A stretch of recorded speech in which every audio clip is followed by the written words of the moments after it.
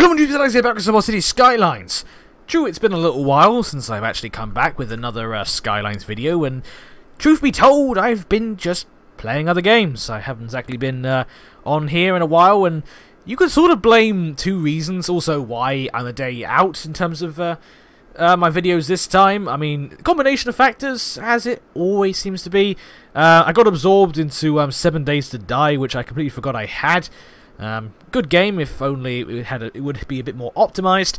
Uh, and to be honest as well, I think yesterday evening I had like a migraine, like a uh, one of those visual anomaly migraines, and technically I had one of those uh, about an hour or so ago from now. So Although I don't really have a headache, um, sometimes it's just a visual thing. But uh, anyway, we'll just ignore the usual distractions because my life can never be clockwork.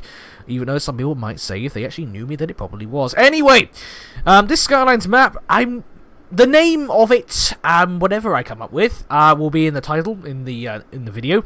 Uh, but really, I was, uh, you know, I'm just I'm just playing around with yet more islands, and this particular design here is probably going to be featured in an upcoming uh, video whenever I get around to making it.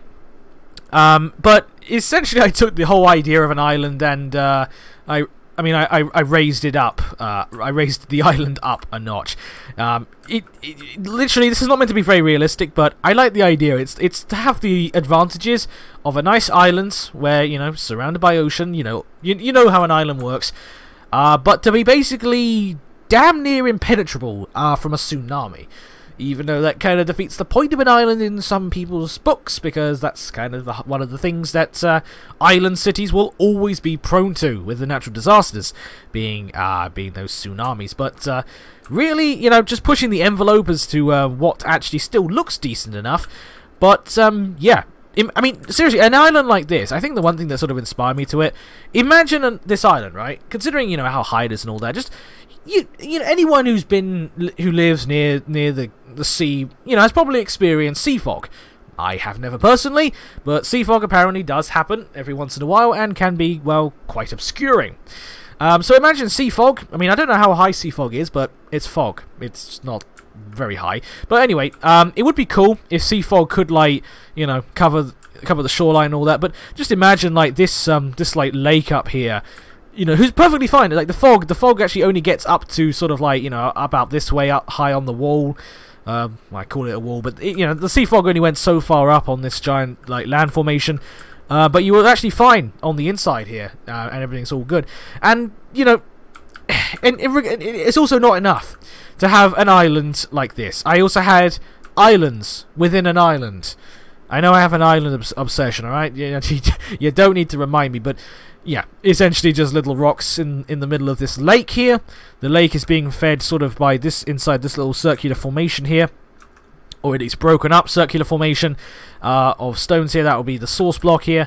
Uh, and even I decided to go with the waterfall because, you know, I, I gotta have water features uh, in every, in all of my maps here, so you know that just sort of filters out any excess water through uh, there. The random strip of land in the middle here, I don't know why I, I added it. I think it might have been I mean, I made. I, think I don't remember the, all the details of this damn map because I probably made this map about one and a half weeks ago, and I like kind of forgot what the hell. I I actually forgot this map even was in my uh in my all of my like save games and stuff.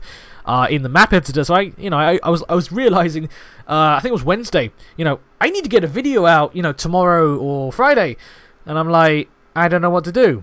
And then a light bulb pinged in my head. I have a map in Skyline, so uh, that's why I'm getting around to do this now. But anyway, the land formation here, as I kind of got distracted there, uh, you could say it, it was a one way or another to limit the flow of water exiting because there's only one source block in the middle there and as much as I like nice big grand waterfalls uh, I don't want the whole lake to be drained so it's just you know a limiting factor in the amount of water uh, flowing out here uh. now even though you know I don't know. Let me know in the in the uh, comments. Actually, do you want me to release uh, this map? I mean, it's kind of nuts. If you're actually wondering where uh, traffic comes in from, uh, I'm you know even though I don't I don't mind. Uh,